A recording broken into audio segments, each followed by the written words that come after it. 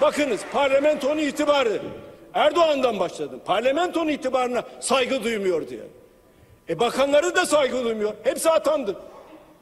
Bizim soru önergelerimize yanıt vermiyorlar. 701 sor- soru önergesi 29 Kasım 2002 22 itibariyle 701 soru önergesine cevap verilmemiş arkadaşlar. Ne demektir soru önergesine cevap vermemek? Sayın Başkan size de söylüyorum. Her bütçe konuşmasında söylüyorum. Ben milletvekilini takmam arkadaş. Kim oluyor milletvekili? Beni Cumhurbaşkanı atadı. Ben istediğim soruya cevap veririm, istediğe vermem diyor.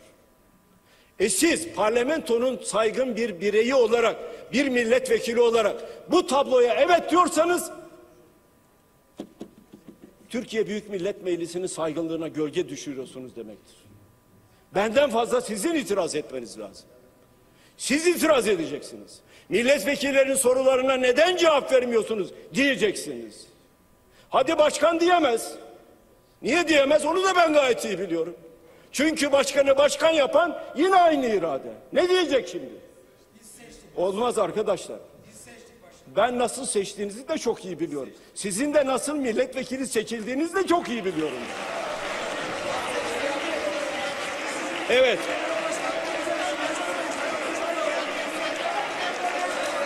Gelelim, gelelim başka bir konuya. Hiç şey etmeyin arkadaşlar. Ağlamayın arkadaşlar, ağlamayın, ağlamayın. Gelelim şeye. Bütçe geldi güzel. Bütçe geldi güzel. Değerli arkadaşlarım, değerli arkadaşlarım.